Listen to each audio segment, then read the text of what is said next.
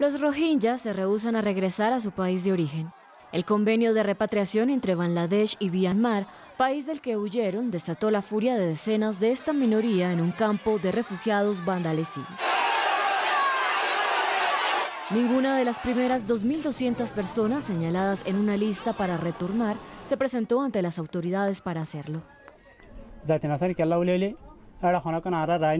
No quiero regresar porque no tengo ningún derecho de ciudadanía.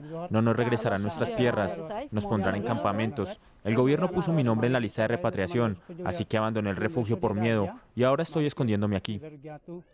Alrededor de 700.000 rohingyas, una minoría musulmana proveniente de Myanmar, se encuentra en Bangladesh tras huir de lo que denuncian como una ola de asesinatos y violaciones por parte del ejército en 2017 para tratar de extinguir a esta comunidad. Las autoridades de Myanmar rechazan las acusaciones.